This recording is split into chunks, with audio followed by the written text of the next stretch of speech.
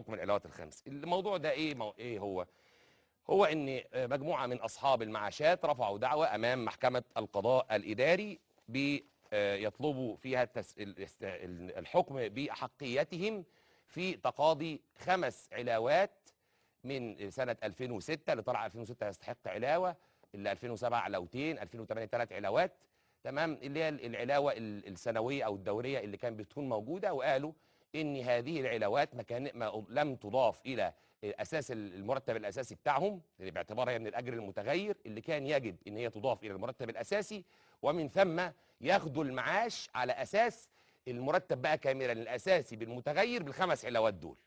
طيب محكمة القضاء الإداري أول درجة حكمت باحقيتهم في هذه العلاوات الخمس وإن هي تضاف للمرتب كأجر متغير وياخدوا المعاش على أساسها يبقى على أساس ذلك هيزيد المعاش بتاعهم بالنسبة اللي هيكون فيها الخمس علاوات دول هتضاف لكل واحد حسب طبعا آه، مرتبه كان إيه والعلاوة دي قدرها كام جنيه. طيب الحكومة اللي هي المختصمة في الدعوة وزارة التضامن الاجتماعي أو هيئة التأمينات والمعاشات طعنت على الحكم أمام المحكمة الإدارية العليا. ماذا قالت المحكمة الإدارية العليا؟ المحكمة الإدارية العليا عدلت حكم محكمة القضاء الإداري وحكمت بحكمها الذي جاء منطوقه على النحو التالي.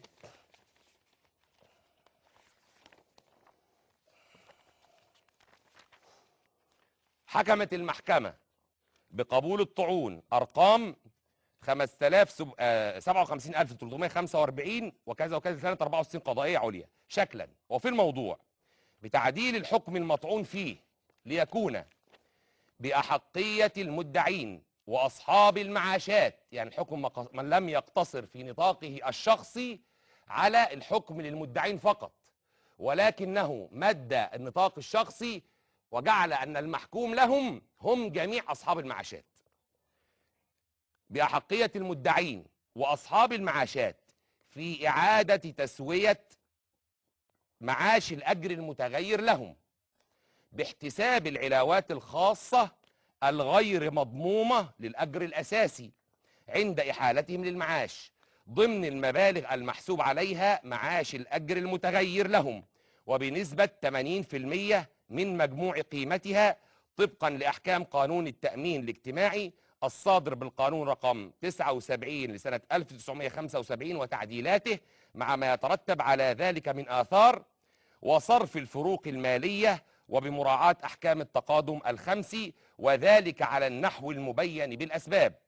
وألزمت الطاعنين المصروفات على الطاعن الثاني في الطعن رقم كذا من آه، المقام من هيئة مفوضية الدولة.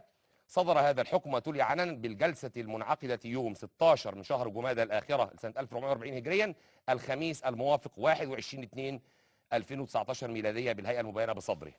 طيب حينما صدر هذا الحكم وجم بقى ينفذوه المحكوم لهم أقامت ال- الجهة الإدارية اللي هي ممثلة في وزارة التضامن الاجتماعي إشكالا أمام محكمة القاهرة للأمور المستعجلة تطلب فيها وقف تنفيذ الحكم.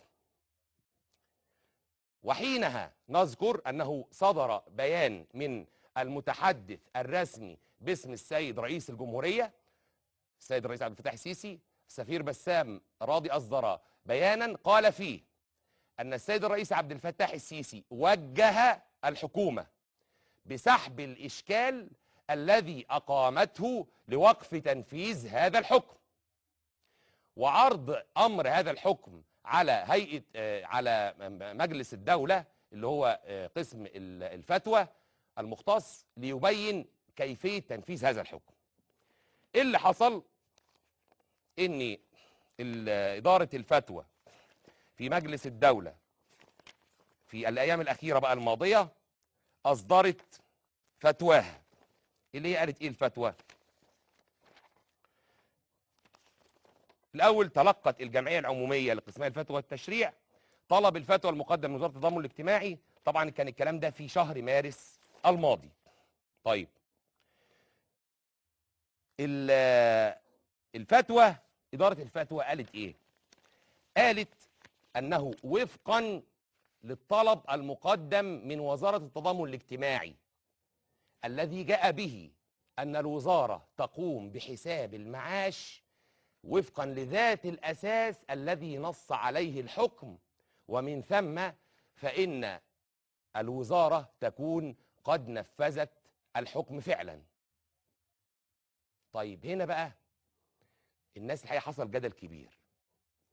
من الصحف ما نشر إن آه، إدارة الفتوى أو قسم الفتوى الفتوى والتشريع بمجلس الدولة ينتصر لأصحاب المعاشات وحصل لغط.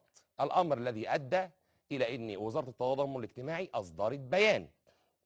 قالت فيه أن ما نصت عليه الفتوى هو أن الوزارة قامت بالفعل طبعا وزارة التضامن الاجتماعي من خلال الهيئة هيئة التامينات والمعاشات اللي هي تتبع الوزارة. قامت بالفعل بتنفيذ الحكم لأنها كانت تحتسب زي ما إحنا قرينا لحضراتكم منطوق الحكم. هي بتقول إن هي كانت بتحسب المعاش على أساس ضم العلاوات دي من الأول. ومش بس 80% دي كانت بتحسبه بنسبة 100% طيب النهارده هذا البيان تمام الكلام ده كلام سليم ولكن لي عليه ملاحظة؟ إيه الملاحظة؟ إن المبدأ يا جماعة في الفتوى بيقول إيه؟ الفتوى على شرط المستفتي. يعني إيه الفتوى على شرط المستفتي؟ يعني دلوقتي حضرتك لما تطلب فتوى أي فتوى بقى سواء فتوى شرعية ولا فتوى قانونية ولا فتوى على أساس أي قاعدة من القواعد. حضرتك كمستفتي بتقول الواقع والمفتي هو اللي بيطبق لك القاعدة على هذا الواقع. طيب النهارده لو حضرتك عرضت الواقع صح يبقى المفتي بي- بيطبق القاعدة على الواقع اللي أنت بتعرضه صح. طب حضرتك عرضت الواقع غلط. يبقى هو بيقول لك القاعدة وفقا للواقع. ده عشان كده الفتوى بيقولوا على شرط المستفتي يعني الفتوى مشروطة بإذا كان ما عرضته من واقع واقعا صحيحا. يعني دلوقتي حضرتك رحت للشيخ وقلت له أنا شربت في نهار رمضان وأنا ناسي. صيامي صحيح ولا لأ؟ هيقول لك صيامك صحيح. طيب واحد تاني قال لا يا عم الشيخ ده ما كانش ناسي. ده كان فاكر. يبقى مين اللي يحدد إن أنت ناسي ولا فاكر؟ أنت. طب هو لما يقول لك صيامك صحيح يبقى ده مشروط بإيه؟ بصحة الواقع اللي عرضته. علشان كده حضرتك هتلاقي الفتوى بتاعت مجلس الدولة جت تقول إيه؟ جت تقول وفقا للوارد بطلب الفتوى من الحكومة. يعني الفتوى دي ما أهلتش من عندياتها كده. لا.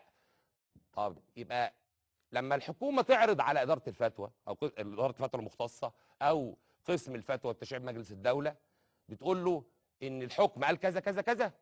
وإحنا كنا بنعمل كده زي ما الحكم قال. ومش ب 80% لا ب 100% يبقى المفروض الفتوى تطلع إيه؟ طب ما طبيعي هتطلع. إذا كان صحيحا ما عرض في طلب الفتوى فإنك تكون قد نفذت الحكم. يبقى أصبح الحكم هنا إيه؟ مفيش محل لتنفيذه أنت نفذته. طيب علشان بقى ما يحصلش جدل ولا كلام ولا حد يقول لك آه، ده مش عارف في حد بيعمل كذا ولا في حد بيعمل بيعمل كذا لا هو في الآخر دي آه، وارد جدا إن يحصل منازعة وارد جدا إن يحصل خلاف ولكن طالما أن طريقة تسوية المنازعة أو طريقة حل الخلاف طريقة موجودة ونزيهة ومحايدة ومستقلة خلاص يبقى ما فيش ما يمنع إن يبقى في خلاف. أول حاجة ملاحظتي الشخصية واللي أنا مسؤول عنها مسؤولية كاملة على وزارة التضامن الاجتماعي في البيان اللي أصدرته بشأن الفتوى إن تمام. طب حضرتك طالما أنت بعت الفتوى وزارة التضامن الاجتماعي وقلت إنك بتنفذ الحكم وإن أنت نفذت الحكم تنفيذا صحيحا حضرتك كنت عامل إشكال ليه؟ يعني كنت عايز توقف تنفيذ الحكم ليه؟ طب ما حضرتك لما يجي لك الحكم طالما هو متنفذ يبقى إيه؟ يبقى خلاص ما تعملش إشكال لوقف تنفيذه. يبقى في عرض غير صحيح. سواء العرض اللي على السيد رئيس الجمهورية وده اجتماع معروف جدا ومنشور كان مع السيد رئيس مجلس الوزراء والسيدة وزيرة التضامن الاجتماعي اللي الرئيس فيه وجه بسحب الإشكال المقدم من الحكومة لوقف تنفيذ الحكم.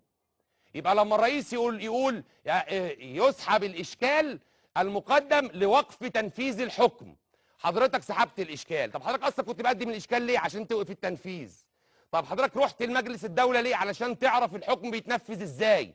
يبقى حضرتك تبعت لمجلس الدولة تقول لهم أنا أنا منفذ الحكم فعلا. طب بتوقف تنفيذه ليه؟ طيب لو حضرتك كنت منفذ الحكم فعلا وعرضت ده قدام المحكمة الإدارية العليا هيبقى الحكم المحكمة الإدارية العليا وارد على غير محل. لأنه من شأن تنفيذك للحكم أثناء نظر الدعوة أن تحكم المحكمة بانتهاء الدعوة. آه، المحكمة هتحكم بالحكم ده ليه؟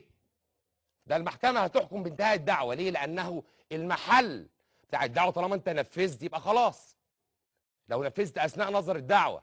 لكن لو أنت كنت منفذ من الأول كانت المحكمة الإدارية العليا هتقضي برفض الدعوة. هتلغي الحكم بتاع أول درجة وتقضي برفض الدعوة. فمن ثم ما عرض على آه، الفتوى بمجلس الدولة ما كانش يجب ابدا إنه يتقال فيه إن إن إحنا نفذنا فعلا وإن إحنا بننفذ وفقا لما قاله الحكم.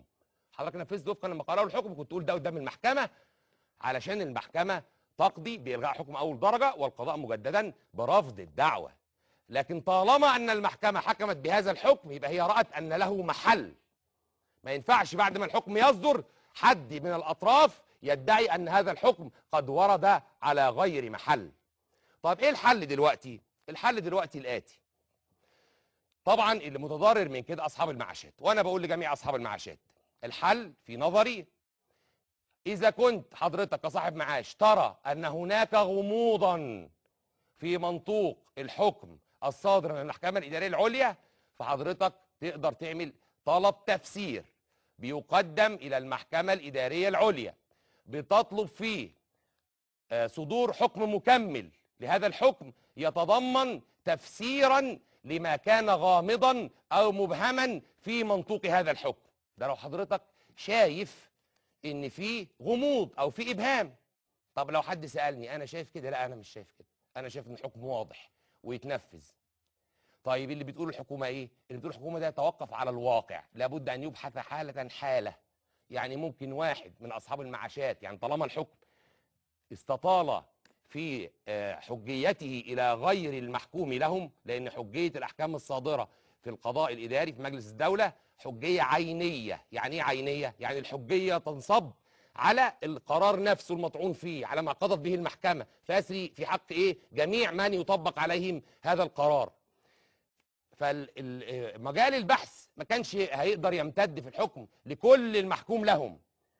علشان كده أصحاب المعاشات لابد أن تبحث حالة كل منهم حالة حالة. اللي اللي خد الخمس علاوات يبقى خلاص تمام. اللي ما خدش الخمس علاوات يضافوا الخمس علاوات. طيب إذا الحكومة ما عملتش كده في سبيل قانوني يلزمها؟ آه في سبيل بقى وده وجهة نظري كده. إن كل صاحب معاش متضرر يستطيع أن يقيم منازعة تنفيذ أمام المحكمة الإدارية العليا. وهي المحكمة المختصة بنظر منازعات التنفيذ المتعلقة بأحكامها. هيطلب فيها إيه بقى؟ مش زي ما الناس متخيلة أو زي الناس معتادة إن منازعة التنفيذ أو الإشكال للوقف بس لأ. سواء للوقف أو الاستمرار. هيطلب فيها أن تحكم المحكمة بال- بالاستمرار في تنفيذ حكمها اللي إحنا قلنا من شوية وإزالة أي عقبة في سبيل استمرار التنفيذ. ويقول بقى إيه العقبة؟